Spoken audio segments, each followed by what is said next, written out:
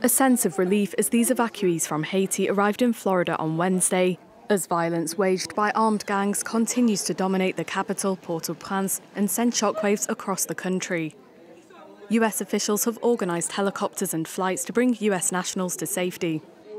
Main roads are closed off, and um, sometimes even side roads are closed off because of um, what's going on. Every neighborhood is trying to protect themselves and um, limit circulation, especially from outsiders. So um, the very difficult part was getting around and making it to the airport. The biggest stress about this was that we were dealing with little kids. It was just scary.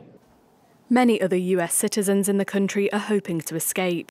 As of Tuesday, nearly 1,000 Americans in Haiti had reached out to the US government, according to officials.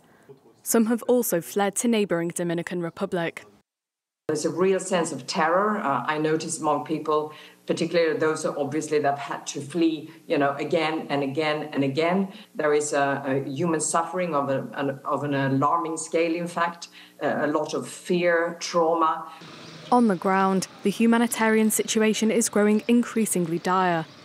According to the World Food Programme, 1.4 million people are facing emergency levels of hunger.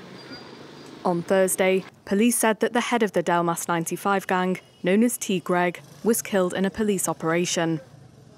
The UN says political groups are drawing closer to finalising a transitional council to stand in for an absent government, following the resignation of Prime Minister Ariel Henry.